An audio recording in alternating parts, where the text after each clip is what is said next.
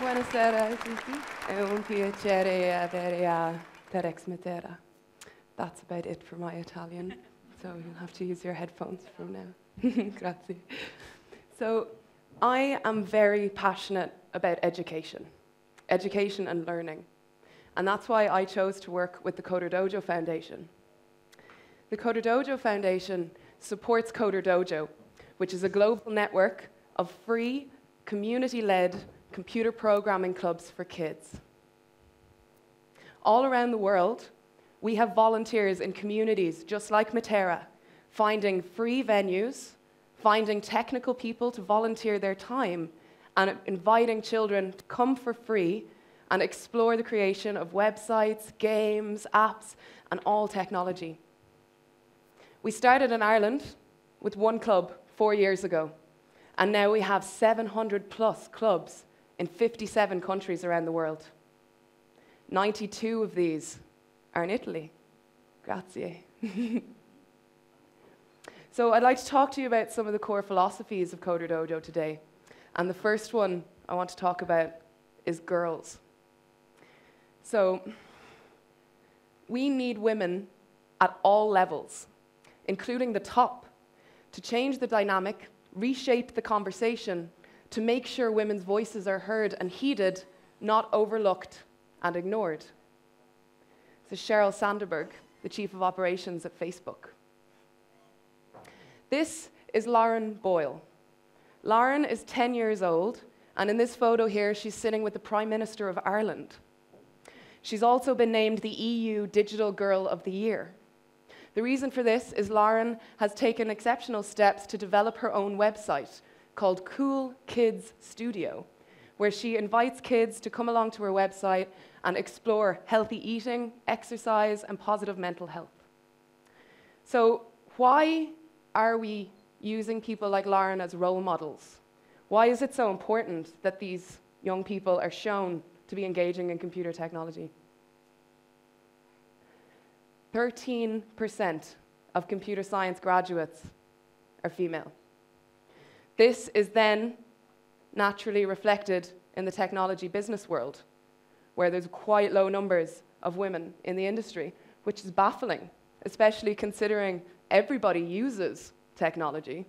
Everybody. It's not just men who use technology, it's women. And women have even been shown to use technology more than men. So, very much we need voices. Also, there's been a prediction that there will be 900,000 jobs in the ICT sector in the EU unfilled by 2020.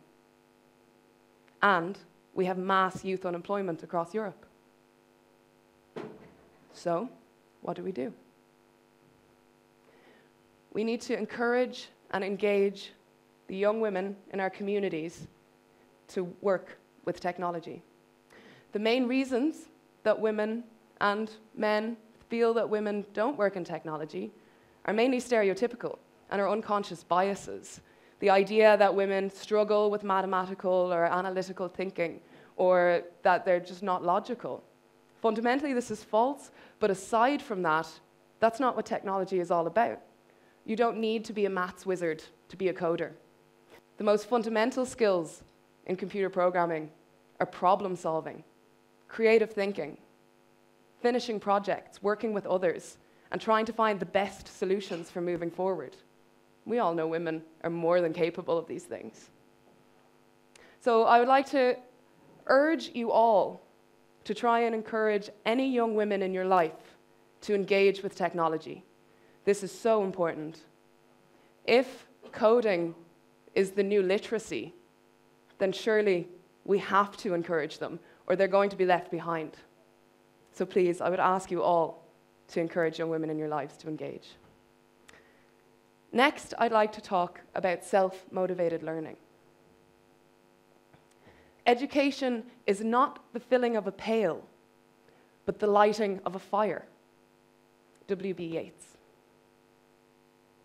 So, the current situation in majority of education systems across the world, it's based on an industrial model of education. Young people are given standardized testing where they just reiterate information that's been fed to them, and they are, in essence, spoon fed. Ken Robinson says it best. One of the roles of education is to awaken and develop the powers of creativity. Instead, what we have is a culture of standardization, where creativity isn't so much encouraged and often dismissed. so, at Coder Dojo, the way we like to tackle this is by encouraging young people to take initiative and responsibility for their own learning. So, encouraging them to give an input into what it is they want to learn. You want to learn apps? Great. You want to make a website? Fantastic. You want to make modifications to Minecraft? Okay, go for it. Mentors will be there to help. Project based focus, interest led. So, what this means is that when a young person is making a website, for example, we ask them to focus on the subject that's of interest to them, whether it's soccer or music or horses or whatever it is. Make that your website. It's not about the code that you're writing, it's about the overall project. And then often you'll be in a situation and a kid will say, Oh, I really want to put videos on my website. So the mentor goes, Okay, well, this is how you do that. So that's what we try to encourage, is the young people to drive their own learning. We get them to set goals, complete projects, and present their work to their peers at the end. Anyone working in any kind of field knows that these are really important life skills. And we have mentors on hand, volunteer mentors from the community to provide support and guidance, but not to dictate. So, this is Kathleen, and I'd like to tell you a little story about Kathleen. Um, Kathleen and her family are travelers.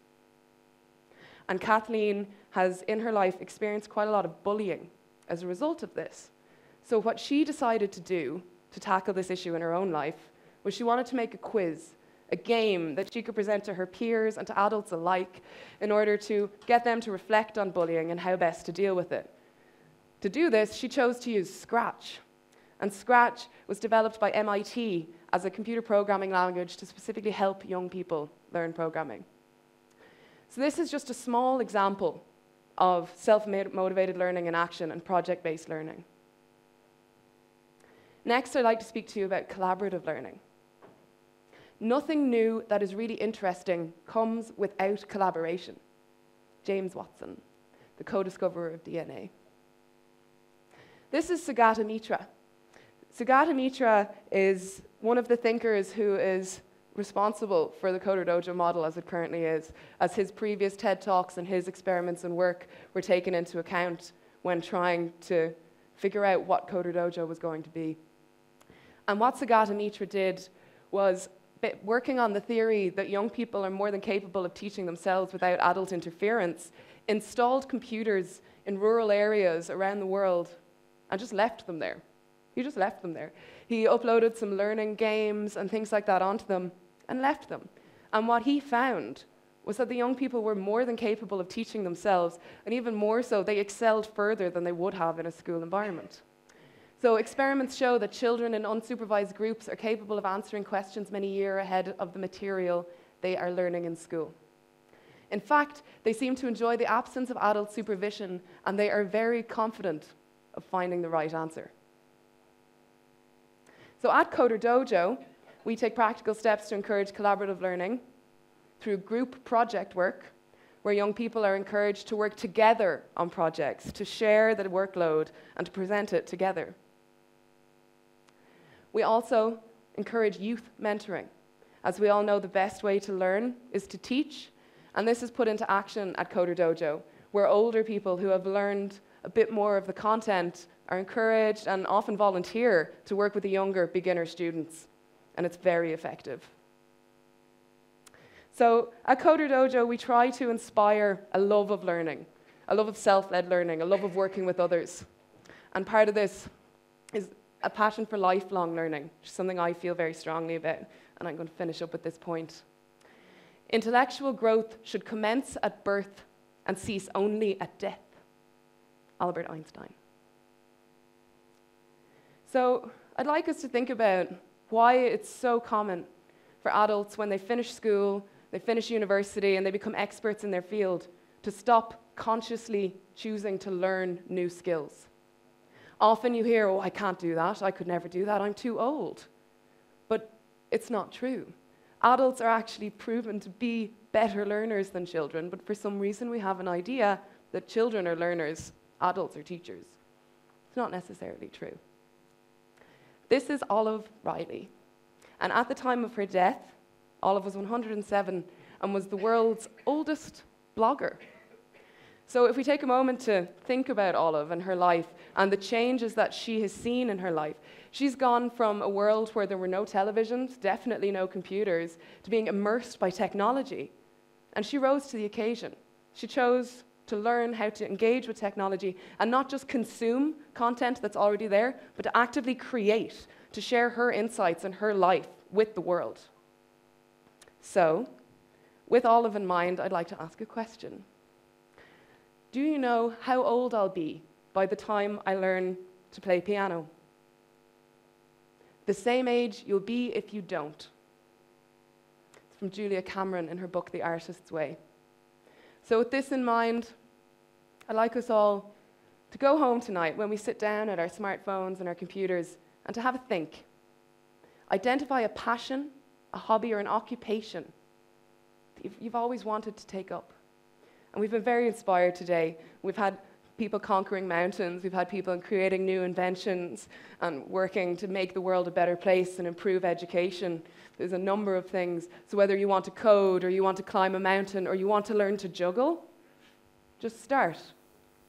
Search online for a tutorial guide, podcast, or webinar. We're currently in an era when we can learn anything we want like that. All we have to do is take one small step. The journey of a thousand miles begins with a single step.